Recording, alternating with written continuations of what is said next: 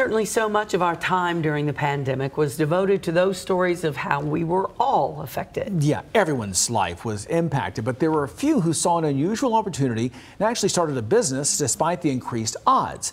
Well, in my Chasing the Dream series, we've met several Kentuckians who stepped out on faith, and tonight, a Paris woman who actually took over a business that was about to succumb to the pandemic before she stepped in and turned it around. Ask any resident of the city of Paris, and they will tell you how proud they are of their downtown. I did a story here last year of how everyone came together to support local, and that allowed several small businesses to survive the pandemic. The Fancy Flamingo Boutique was one that needed a little help. Kimberly Ray was involved with another business in town when she saw a need here. COVID slowed things down quite significantly, so um, this was already set up to be a boutique, and I thought, why not? I like to shop. I couldn't go out and shop. So I wanted to do something for our little community where they could just still come and feel comfortable and get away a little bit. That was July 2020, right in the heart of the pandemic, and months before a vaccine was produced to open up our economy. But she says traffic into her store was so good when she opened, it was as if everything was normal.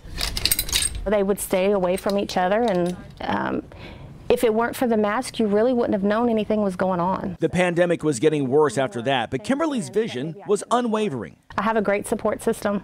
Um, so, no, I knew if it failed, then my support system was there to lift me up and try something else. With the pandemic behind us, hopefully, and the restrictions now in the past, prayerfully, Kimberly is full steam ahead. Yeah, we'll fluff a bow. How about that? Taking lessons learned from her customers to make her store better. If they're looking for something we don't have, they've given us an idea on what to find, and we'll get that in. And, you know, it helps somebody else who might be looking for the same thing. People are just so grateful that this and other little shops are here so they don't have to go to Lexington to find a gift.